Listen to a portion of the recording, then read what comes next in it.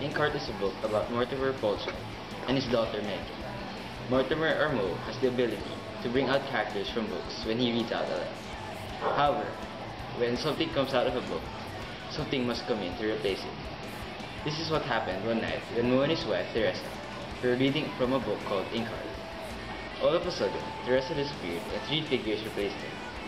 Their names were Capricorn, the antagonist of the story, Basta, one of the Capricorn's henchmen, and Dustfinger, a fire eater whose greatest desire is to return home.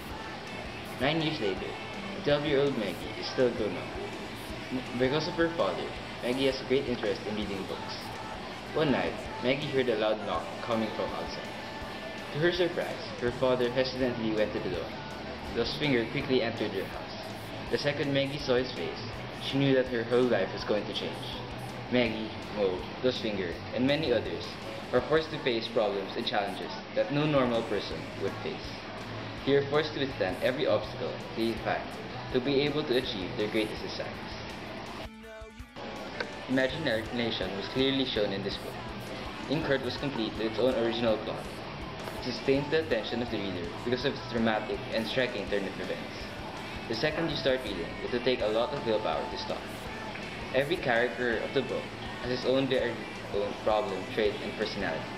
You could really feel the conviction within the lines of Inkheart. Additionally, on the start of every chapter, there is a short passage from the other great's work of literature. All of these combined will really make people appreciate the joys of reading. Every book has its own faults, no matter how thrilling the book is. Inkheart is no exception. Inkheart has very has a very sophisticated plot. It is hard to understand.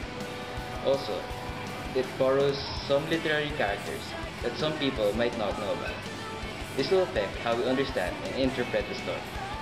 Even though the book has disadvantages, I would still recommend it because it helps us realize that literature and writing are very special and interesting.